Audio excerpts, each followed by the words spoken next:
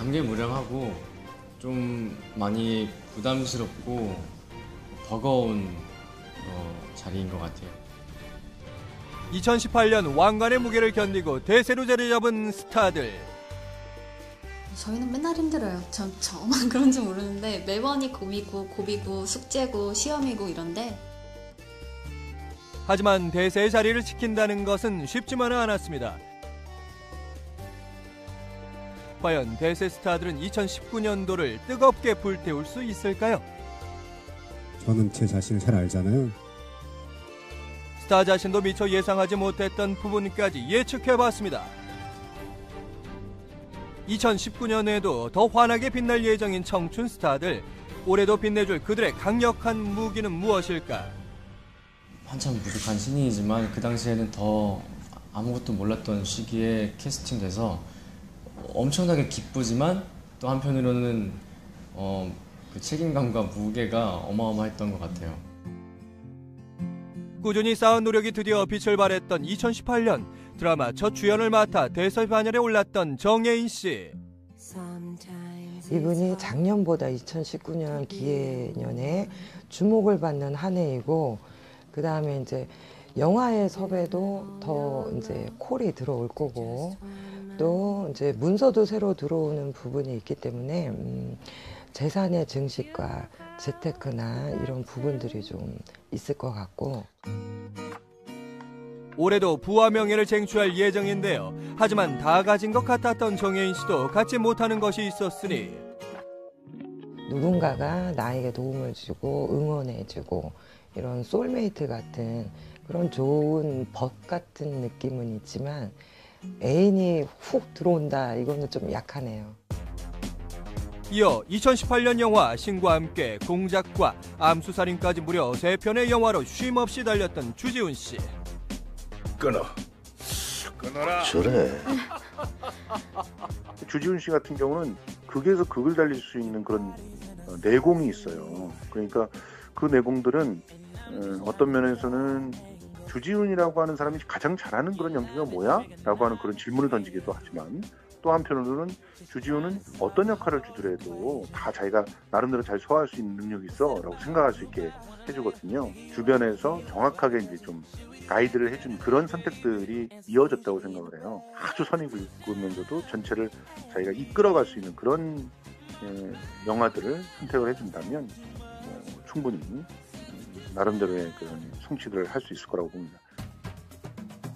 다만 바쁘다고 해서 소리해서는 안 될 것이 있다고 합니다. 피로도가 몰려오고 예. 제가 통풍이 있는데 그래서 통풍이 올라왔어요. 상비약을 챙겨 다니기 때문에 뭐 그걸로 연명하고 자기 관리를 좀 하셔야 되고 그게 자기 관리는 건강 그 다음에 이제 소소하게 운전 이런 거에서 물론 당연히 음주운전은 안 하시겠지만 접촉사고나 이런 부분은 가볍게 스치고는 지나가고 드라마 김비서가 왜 그럴까에서 코믹한 모습과 깊은 감정 연기를 자유자재로 오간 박서준 씨. 어떻게 표현하면 좀 자연스럽게 넘어가면서 캐릭터의 매력을 어필할 수 있을까라는 고민을 굉장히 많이 했고 하지만 이 고민을 넘어섰던 도전이 올해 큰 밑거름이 될 수도 있다죠.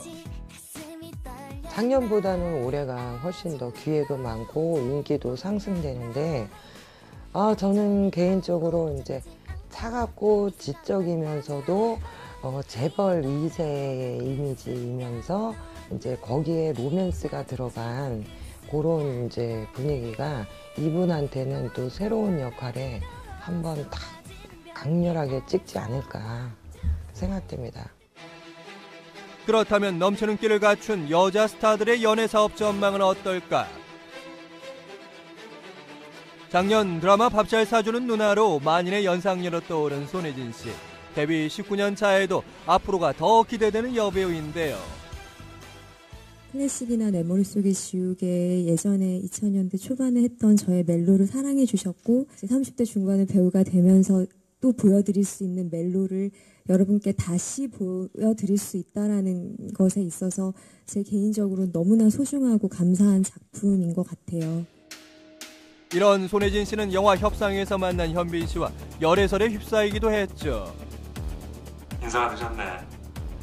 민트 봅시다. 하채윤입니다. 관등 성명은 정확하게 얘기해야지. 두 사람은 작품에서 만나 우정을 쌓았을 뿐이라며 열애설을 극구 부인했는데요.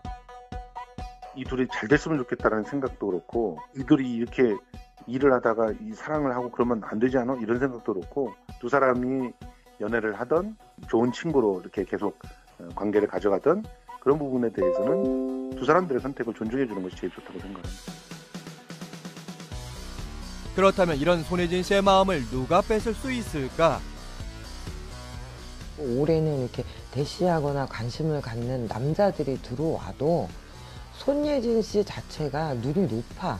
아주 그냥 상남자이거나 내가 휘어, 탁 나를 휘어잡을 수 있는 강렬함이 있거나 아니면은 아예 공주처럼 받들어주는 사람이거나 중간에 대한 거는 성에 안 찬다 예요. 이어 국민 썸녀로 불리는 박나래 씨. 제가 연예계의 숨은 연예 고수거든요. 자칭 연애 고수로 불리는 박나래 씨는 작년에 이어 올해도 기암 84와 그의 후배 충재 씨와 썸을 탔는데 그렇다면 두 사람 중 누구를 만나야 진정 행복할 수 있을까? 기한 씨도 10월생이고 우리 이제 나래 씨도 10월생이기 때문에 재물복이나 식복은 좋은데 한 번 또 이제 서로가 좀 빈정이 상하면 그 뒤끝이 좀 장렬하기 때문에 어, 좋은 친구에서 더 깊이 안 들어갔으면 좋겠어요. 김충재. 예, 그분은 어, 화가 되고 우리 나래 씨는 금이기 때문에 그러니까 나래 씨가 이분을 만나게 되면 자기 희생을 강요당해. 그래서 내가 이 사람을 위해서 충재 씨를 위해서 조금은 배려를 하고 희생을 해야 되니까 그 사랑이 힘들지. 이런 그녀에게 어울리는 짝은 어쩌면 생각지 못한 곳에서 나타날 수 있다는데요. 어, 저 같은 경우는 딱 한 방. 한 방에 이 홈런을 노리는 스타일로 나래 씨가 좋은 가정을 현모양처처럼 의외로 또 이렇게 집 남편한테 몰두하는 성향이 있기 때문에 강한 척해도 마음이 되게 여리고 순수한 면이 있는 분이기 때문에 어, 지고지순한 사랑을 꿈꾸면서 때로는 친구 같은 사람 그렇기 때문에 연상이 이 분을 품어주는 것이 어울린다. 예. 전국 방방곡곡 먹방 리스트 공개로 제2의 전성기를 열었던 이영자 씨. 시원한 맥주에 응? 프라이드 치킨 바삭 튀긴 거 그냥 하나 떡볶이 막 이런 거 응? 쫙 매콤하게 돼가지고 어묵, 어묵 국물하고 쫙 하지만 이영자 씨가 꼭 음식에만 관심이 있는 것은 아니었습니다. 방송에서 단골 식당 사장님을 몰래 마음에 담으며 소녀 같은 모습을 보여주기도 했죠. 누가 나 좋다고 그러는데 싫어하는 사람이 어딨어요 결혼은 아직 안 되고 애석하게 그 다음에 이제 귀인의 도움은 있다 하니까 누군가가 좋은 친구와 인연이 되거나 사랑함으로 인해서 그 사람이 높이 되고 어, 널리 되고 어, 자기 희생적인 부분을 또 있는 분이라 동갑보다는 연하 쪽으로 기우는 것이 더 좋다. 손대는 일마다 대박 예감 베테랑 배우들 하지만 꼭 지켜야 할 것이 있다고 합니다. 9년 만에 안방극장 복귀 그 결과 신드롬을 만든 이병헌 씨. 또 캐릭터도 음, 아주 독특한 것이 처음 어, 맡아보는 그런 캐릭터였던 것 같아요. 좋은 작품도 꾸준히 하는 것이 최고입니다. 그 미스터 선샤인 같은 작품들을 계속적으로 어, 자신의 가치를 잘 느낄 수 있게끔 최선을 다해서 하는 것이 가장 좋은 방법이라고 생각합니다. 2018년에 대박을 친 이병헌 씨는 2019년에도 이 기운을 거침없이 이어갈 계획입니다.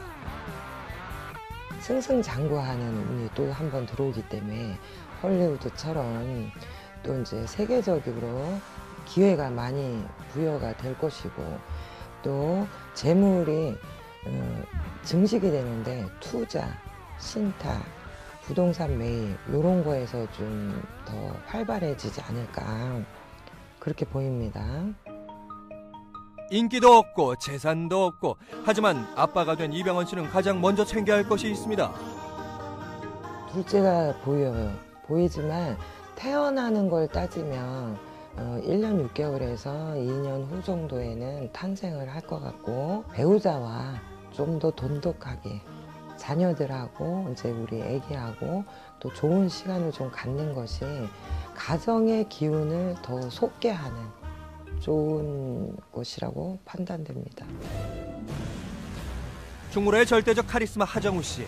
2018년에도 관객의 사랑을 한 몸에 받았는데요. 일곱 개의 지옥, 그 재판의 순서는 염라대왕이 직접 배정합니다. 영화 신과 함께 죄와 벌에 이어 신과 함께 인과 연까지 흥행시킨 하정우 씨는 지난해 말 두 채의 건물을 매입하며 자산 증식에도 힘을 쏟았죠.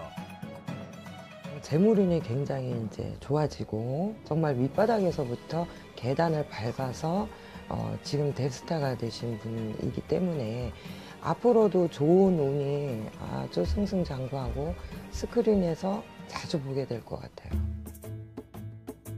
단 정말 잃지 말아야 할 부분은 잘 지키는 것이 중요하다는 것.